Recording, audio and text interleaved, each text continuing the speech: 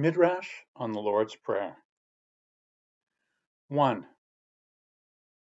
Our Father, simultaneously far and near, my insufficient fear could never drive me to dive deep as Titanic on the wide Atlantic's floor, for there's nowhere to hide. Or if I tried an astro Jonah, scooting to some far star, that's where you'd be.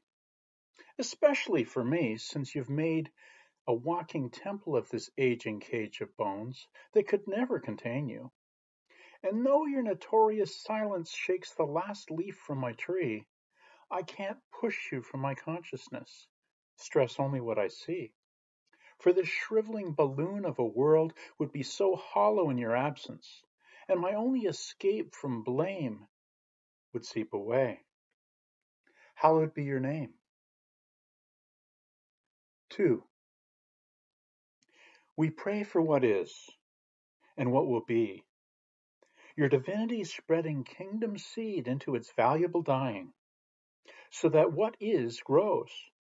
And so reality subtracts our macro negativity from our micro good. And so our mess doesn't mess with your sovereignty, as if it ever could. 3. Give us this day bread with strawberry jam, even if made by our own hands.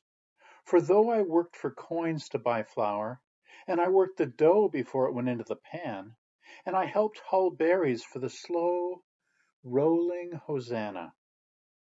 Without sun and rain shower, there'd be no grain, or berries ripening in rows. We shall not live by bread alone, but by every sweet jewel of Christ. 4. I know my mind forges manacles, and the keys my heart jingles are slow to click in those rusty locks. So the miry sorrow of those who've wronged me will be a swamp they must wallow in. May we release ourselves as you have already released us. For it's not until the last chain falls away that we go free. 5. Lead us not into sensation, but deliver us from revealing what we think proves us right. Uncover our hiding. Rip sunglasses from our faces, our defense against sunlight on into the night. Spit on our eyes, or pluck them right out, to be made new and without offense. Amen.